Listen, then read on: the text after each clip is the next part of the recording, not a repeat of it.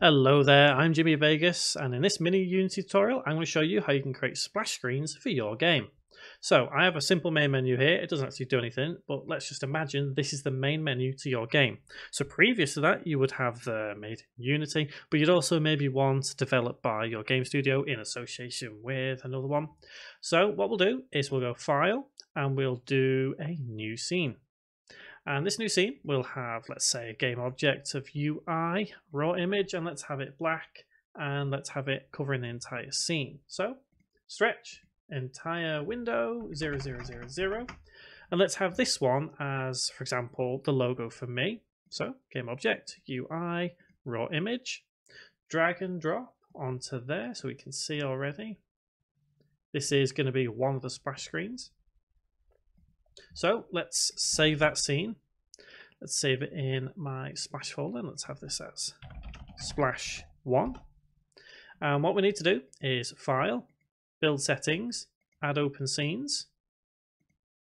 And then let's create, let's say another one to say in association with, so file, new scene. And obviously you would have these splash screens designed how you would want them to be. If you got animations on there, that's great just logos, you know, it's it's however you want it. So I'll show you the process of how it can actually be done. So I'm going to have this black and let's have some white text. Just to say, I don't know, in association with Mrs. Vegas.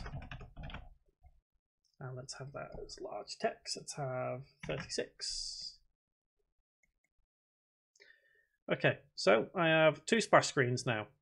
So let's save that one in my splash folder and splash 2.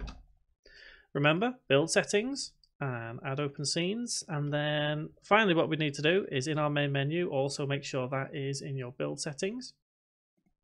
So if we go to splash 1 and what we need to do is create and we'll do C sharp script and we'll do splash sequence.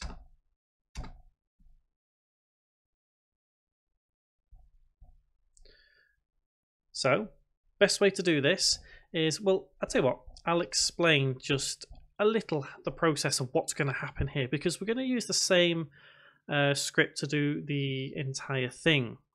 And the best way that we can possibly do this is to have um, something called scene management. And scene management obviously helps you switch um, from scene to scene. And yeah, it's it's a pretty good thing to use. There are different ways of doing like application.load level, but I do believe it is deprecated now, so it probably isn't um, worth using that. But I think you can still use it. You'd have to have a quick little look to see if it is entirely possible. So, firstly, what we'll do is using Unity engine dot scene management. Semicolon. And I think what I'll do is get rid of void update and get rid of any notes because we don't need that. And we'll do public int. And let's see. We'll just do scene number. In fact we'll have that as static just in case, in case we need it for anything else. So public static scene number. And what we do is we do two if statements. So if scene number is equal to zero, which it will be when we start, then do the following. And we're going to need some coroutines. So start co routine. And we'll call the first one to splash 2 open close bracket close bracket semicolon.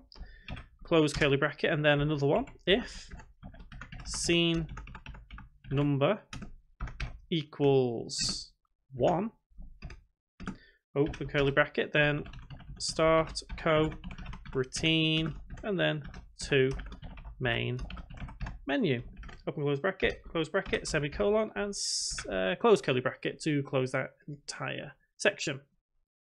So that's the if statement, and that closes our void. So I enumerator and it's called 2 splash 2. Open close bracket, open curly bracket. Let's go down a few lines and close. So the idea of what we're going to do here is let's say wait for a couple of seconds just for that splash screen to display. So yield, return, new, wait for seconds, 5, semicolon. Then after that 5 seconds, what we need to do is scene manager dot load scene and then we put the number of what we're going to. So in build settings, we're going to scene number one. So we can just put number one, semicolon. And last thing to do after that, or rather, I think I'll do it just before the scene changes. We'll do scene number equals one. And then that's that I enumerator done. So the second one, same sort of thing, I enumerator. And we'll call it two, yeah, we call it two main menu, open close bracket, open curly bracket. And then we'll do the same again, yield, return new, wait for seconds, and five. And after that, scene number equals two, just to make sure.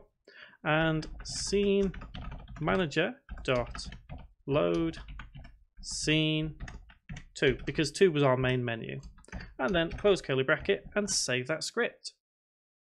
So this script now needs to be applied to both of our splash screens. So game object, create empty, drag and drop onto that one, save, and then on splash 2, same again, game object, create empty, splash screen, and save that there. So we're on Splash 1. So imagine you're playing your game from scratch now, and this is the first splash screen you see. So after five seconds, it will load the second splash screen. And then after another five seconds, it will load the main menu. So it's again a sequence of events that we would use to display however many splash screens you would want before your main menu, as long as at the end of it it recognizes that the main menu is the last point. So you don't need this splash sequence uh, script on the main menu. So guys, that is how you create splash screens in Unity. And thank you very much for watching.